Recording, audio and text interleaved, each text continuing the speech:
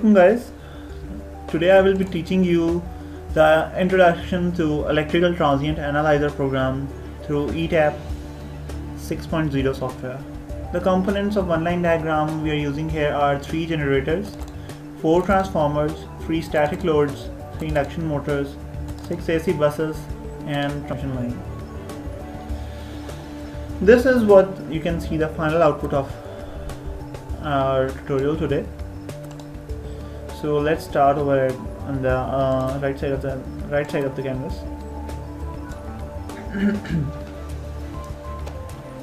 On the right side of this ETAP software you can see the toolbars and when you uh, take the mouse over any of the tool on mouse over it will show what exactly the icon denotes. So let's start by putting three generators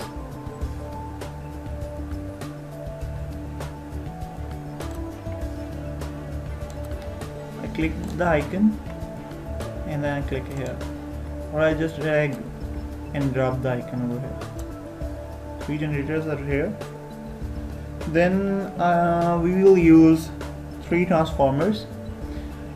Uh, we will use two winding transformers and we will use IEC symbols for them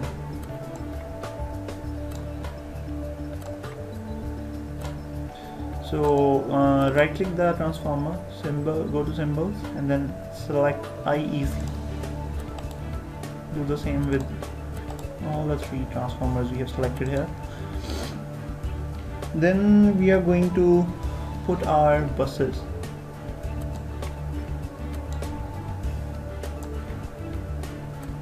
Three buses over here. Two buses over here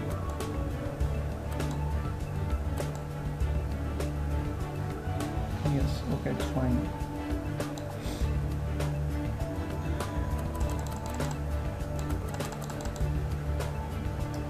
Then DC load and uh, induction motor. Here goes the DC load and uh, here is the induction motor click the bus icon and move uh, towards the right end of it. Uh, its right end and then you will see the movable cursor icon and make it longer. Here it goes. Do the same with the other buses wherever you require to make the length a little bit larger. Uh, now uh, take your mouse over over the icon of the generator uh, IEC symbol of generator and you will see a pink scare box appearing there. When that scare pink box appears just click and drag it towards the bus. You will see the bus goes pink when you will come over it and then leave the mouse. It will connect it to it. Uh, it will connect the generator to the line the bus. Do the same with all other components.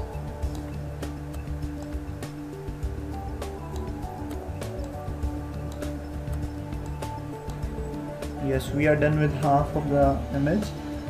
So here is a little tip. If you want to uh, we are going to put these two icons over here. I will just select them. I will press control C to copy and then control V to paste and they will get replicated over here then I will drag them towards this bus 14 and connect them to the specific bus I just mentioned. And connecting the transformer 7 over here and uh, then to the bus 11 and then generator to the bus. Similarly we will do the uh, all the process over here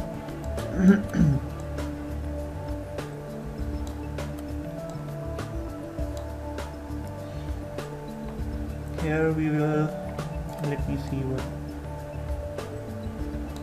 um, two buses one transmission line uh, transformer lower this okay.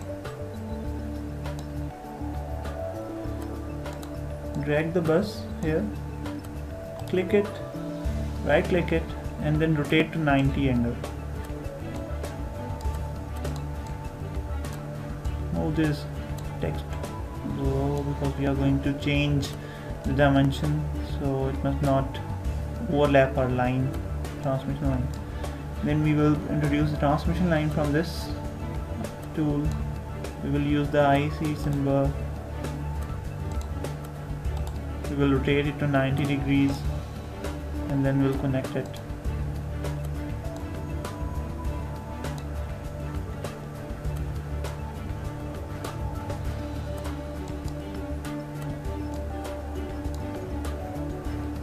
another bus over here. Similar procedure rotate it to 90 angle. Take these texts below the line. And connect it to the transmission line. You can beautify the circle I'm just making a rough sketch in this tutorial. After this transmission line we have a transformer winding transformer over here. Make its symbol to be an IEC symbol rotate it to 90 degrees and connect it to the bus. Then after it we have the similar procedure like this one and we will copy it and then paste it.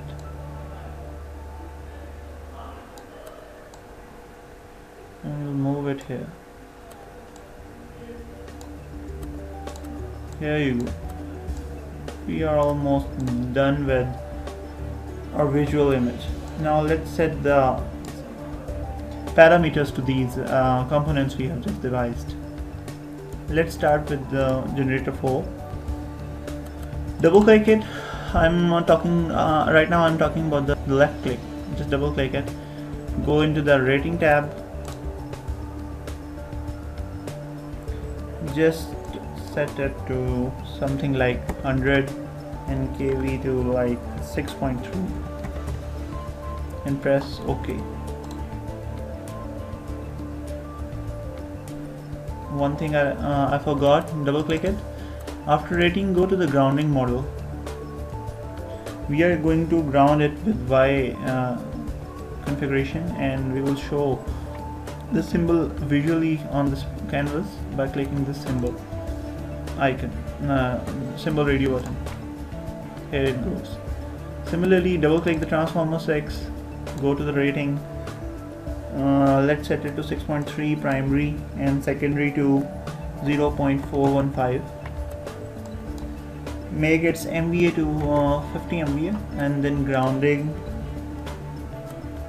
Make it both Y and show the symbols. Here it goes.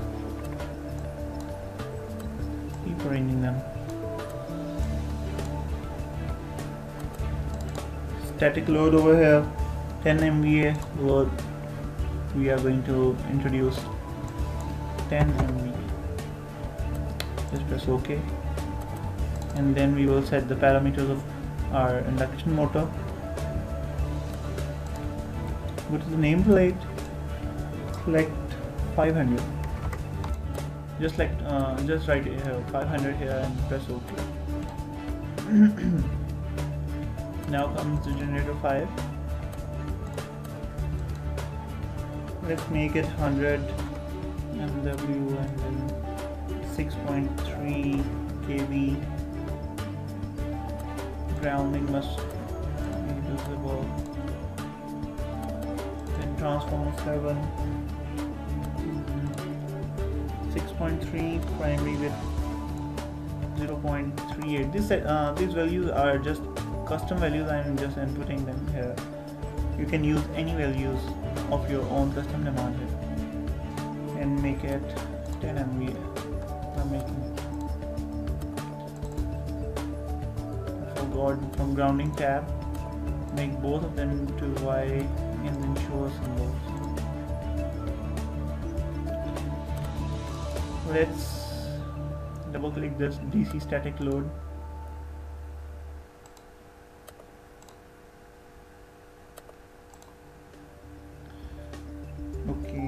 its rating must be 2 MVA something around it.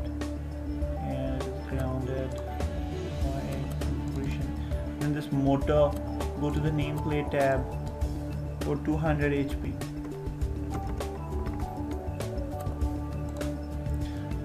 yes here is a uh, bit tricky to find if you, it asks for typical nameplate data select NEC standard and it all goes over afterwards the last loop over here of transmission line in the generator would be set to the megawatt of 200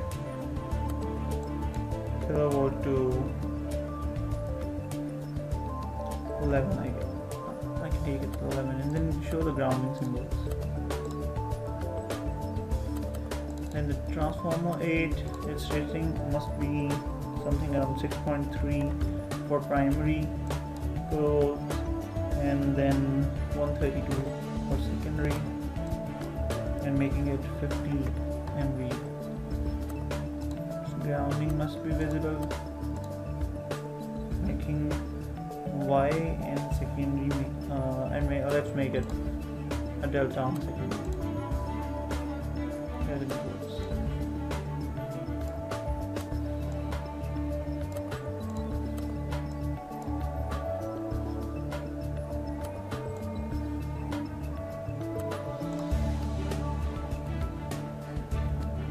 After it uh, I, uh, after it let's move towards the last transformer here.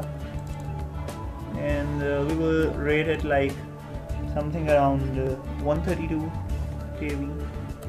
And secondary must be like around 11 kV. Put at 26 MVA. And I will show the grounding over here make it second using delta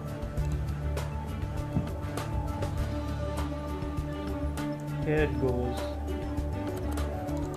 The last load loading must be like around 12 MB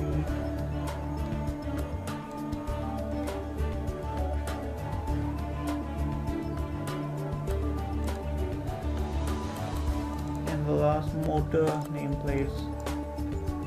Let's make it 100 horsepower again asking about the standard and we are checking anything and then pressing ok and here it is we are completed with our diagram of the circuit we were talking about.